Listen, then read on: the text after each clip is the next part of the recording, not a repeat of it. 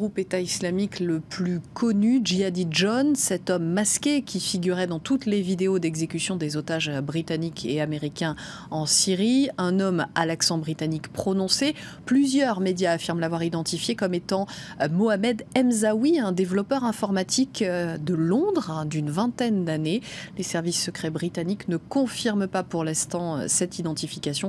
Tout juste affirme-t-il avoir identifié Jihadi Jones depuis le mois